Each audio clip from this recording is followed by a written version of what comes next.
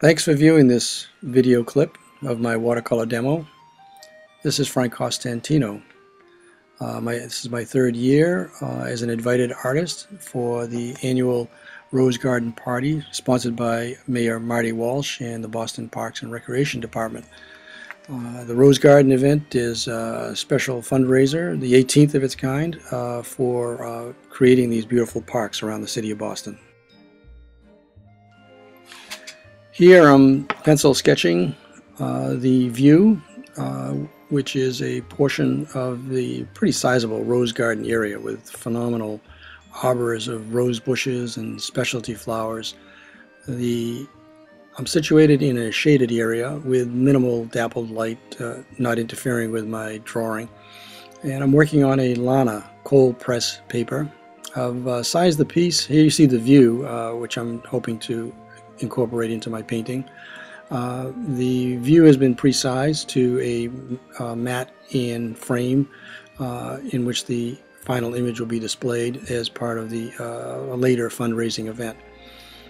I'm preparing my watercolor palette and beginning to determine the colors that I'll be using for the central planter uh, and because the light is changing so quickly I'm planning to incorporate some uh, colors uh, in the shaded area of the top part of the central planter. Um, the brush size is something that's very important and the preparation of paints is quite critical. Uh, here you can see a contrast of blues and reds and yellows that uh, suggest some of the shaded and dappled reflected light. Here I'm beginning to prepare uh, the background sky color by applying a clear water wash uh, to uh, create the uh, effects of the sky. I'm working on, um, on a fairly sizable tilt on my field easel, uh, which I use for all my plein air paintings. Uh, the water will help me dilute and also increase the saturation and the chroma of the uh, colors that I choose, cobalt, cerulean blue, a little bit of red. You can see the brushwork where I'm uh, applying the tip, the body of the brush, pressing down, uh, in uh, dabbing and um, really twisting and turning and curling the brush uh, to take advantage of the bristles and the effects that it creates uh, just by the way in which the brush is applied to the surface. Uh, here I'm charging the brush with a little more color uh, and I'm using a smaller brush with just clear water uh, in order to soften those edges uh, and then also to soften the edge against the top of the background tree uh, which uh, will be deeper in color in chroma later.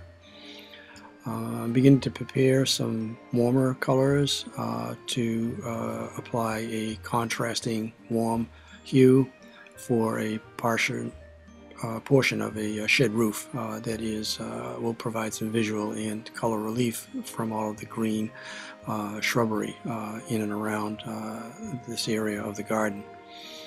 I prefer to work in a, a very direct method. Here it's a dry brush, charged moist brush onto dry paper and working with a combination of strong colors uh, which I've learned from my mentor and friend Charles Reid, to achieve the hue, value, and the chroma of uh, a particular area in one pass if possible.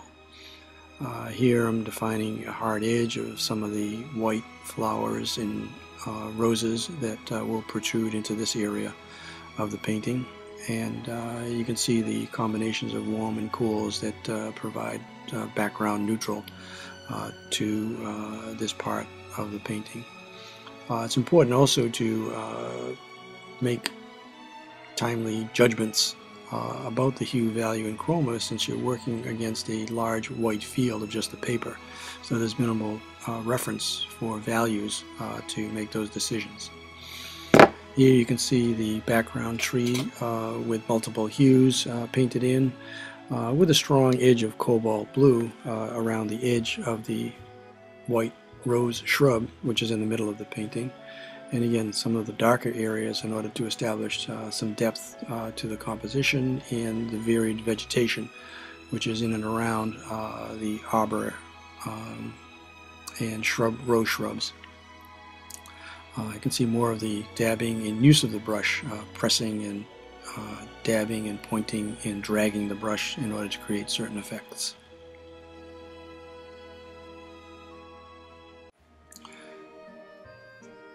The judgment for color and high chroma and contrast and saturation and mixing of different hues is really a very difficult process.